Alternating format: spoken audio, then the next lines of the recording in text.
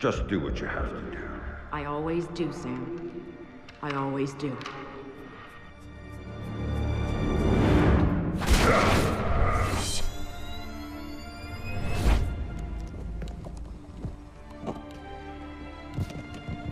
The thing you have to understand is this.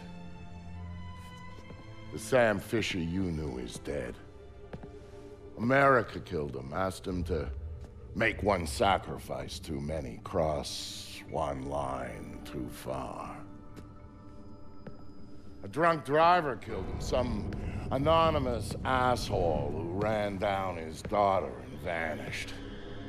She was the one thing in his life that humanized him. And his agency killed him.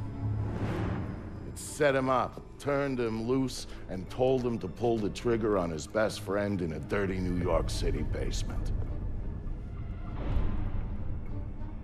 Irving Lambert died by Sam's hand that day. And so did Sam. So he left. Left Third Echelon, left the life he knew, left America and mom and apple pie, left it all behind. He hopped off the grid and went walkabout, looking for a reason to go on living. Eventually, he found it.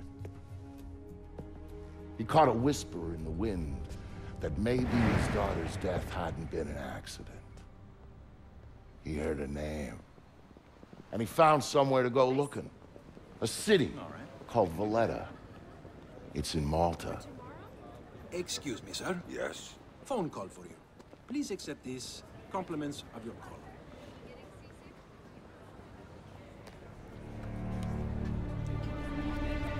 Sam, Who is this? How'd you find me?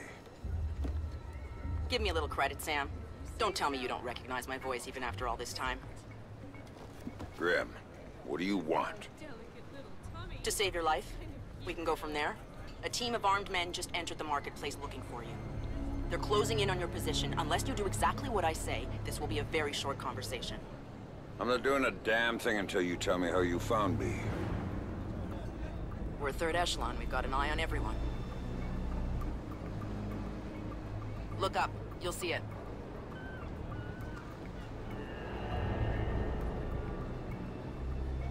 I see it. Then I can take it back up to safe altitude, and you can get moving. You still haven't told me how you found me. Move. You've got multiple hostiles inbound on your position, and from where you're at, you're a sitting duck. Now get to that group of stalls in the market. There's a lot of cover for you there. It's like the old days, huh, Grim? Just like the old days, Sam. Are you carrying? Yeah, but I'd rather not risk a firefight when there's civilians around. That's very noble of you. But right now, what matters to me is getting you out of there in one piece. So get to that group of booths right now, or I can't help you, Sam. Everybody leave! Get the fuck out of here! A gun! A gun! I said get the Good. fuck out! Now let's get you a little closer to those targets in the light over there. Go cover to cover until you reach the luggage stand.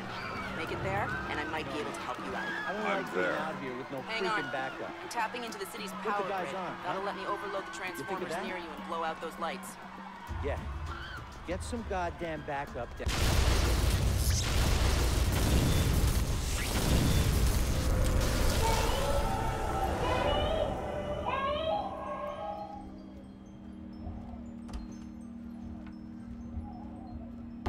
Hey there, kiddo.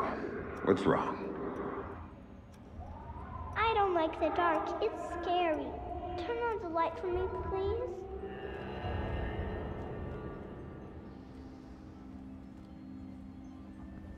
Come on, sweetie. There's nothing to be afraid of in the dark. Sometimes darkness is a good thing.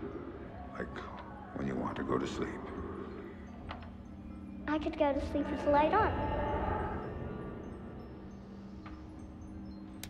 When it's light, you can't see into a place that's dark. But when it's dark, you can see what's around you much better. Really? Really. So if there's monsters or bad people around, you can see them. And if you're in the dark, they can't see you. I can't see you either. Can you please turn the light back on? Okay. Then how about this? There's one really cool thing I didn't show you yet. There is? Show me. Okay, here it is. When you're in the dark and your eyes get used to it, you can see all sorts of things around you really well. And then you can do stuff with them. Like what? Now take a look at your mobile. You can see it really well, right? If there were monsters standing underneath it, because I can see it, maybe I could make it fall on them and they'd go away. And it would fall on their heads and they wouldn't be bad anymore? That's my girl. Teddy, what was that? Daddy needs you to stay in bed now, okay? He's gonna shut the door and he'll be back real soon, all right? Okay, Daddy, I love you.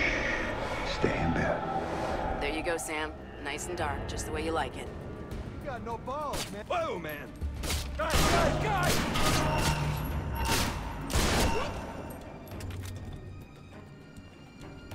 Come on, show yourself, fuckface!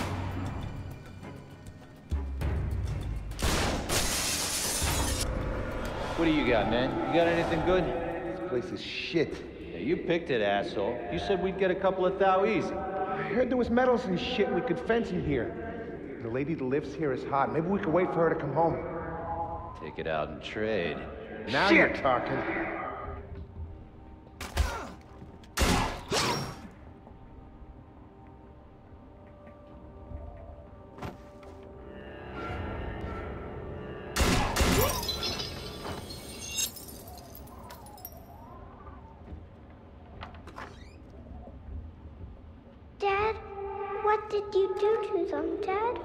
Sarah, baby, don't look. Sam? What are you doing, Daddy? What, what are you doing? Sam, talk to me. Sam? Sam, are you there? Come on, don't check out on me. Ugh, there you are. They brought in some reinforcements, and the man calling the shots is with them. Get a hold of him. I'll ID him, and you can figure out what questions to ask.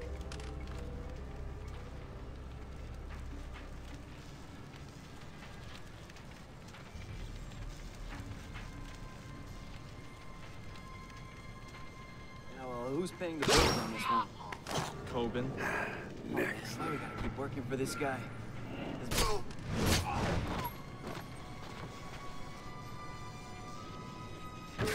I've got an ID on the leader, Sam. His name is Dimitri Gramkos, a local street-level boss. He hires himself and his gang out on a regular basis. Who's he working for now? Why don't you ask him? I think I will. Did you see anything?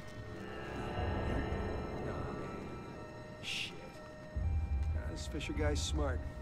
Probably ran out the back entrance of the market and left us here with our thumbs up our ass. It's not too shabby. Back's all blocked off. He's got to come through here. Hopefully before we die of old age. The hell is he hiding anyway? Jewelry stand, maybe? Nah, not enough. Cover me, you asshole! What the? You gotta kill him! Do this. I'm out of here.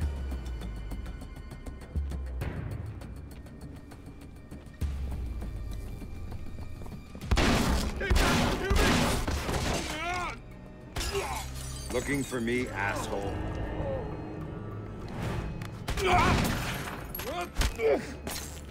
No more playing around. Who sent you? I'm not telling you a goddamn thing!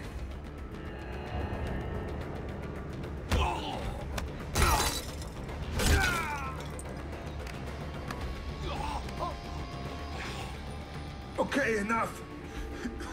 You wanna know sent me? It's Kobin. Andriy Kobin. Runs drugs, guns, anything people want, he gets it for them. Not good enough. Why does Kobin want me dead? Don't! Please!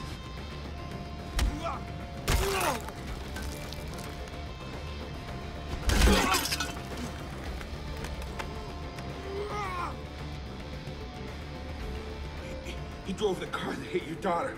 Used to brag about it, you know? Heard you were coming, so he hired me to, to kill you before you killed him. You should refund his money. Where do I find him? You don't understand. Oh!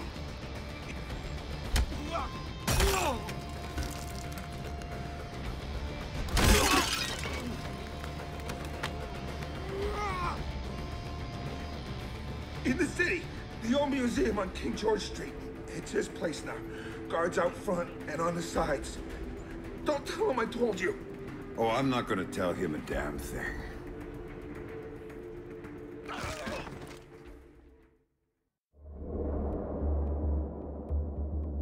Don't tell him I told you. But I knew all along that's where Sam would be going. Anything dirty in Malta ran through that mansion. Kobin's whole operation was based there, and he turned the place into a fortress. Which, to be fair, it pretty much was to start with. And that was before he filled the place with jumpy guys toting automatic weapons. But Sam knew Kobin was in there. And that he might know something about what happened to his daughter. So, Sam was going in, no matter what.